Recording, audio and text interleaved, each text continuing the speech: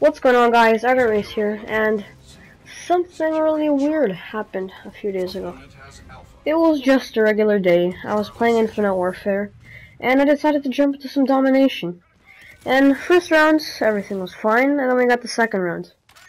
And when I was around at 198, I tried to get the final kill cam, and then when I found the guy, I got a few shots, but then I got killed by his claw.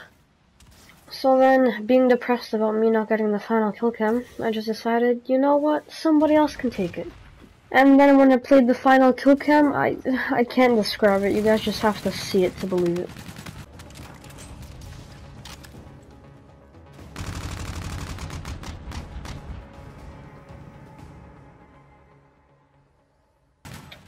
What the hell was that?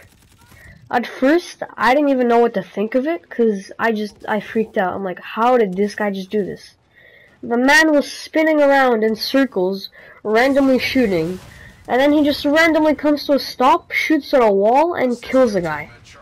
There wasn't even a hit marker. It was so weird.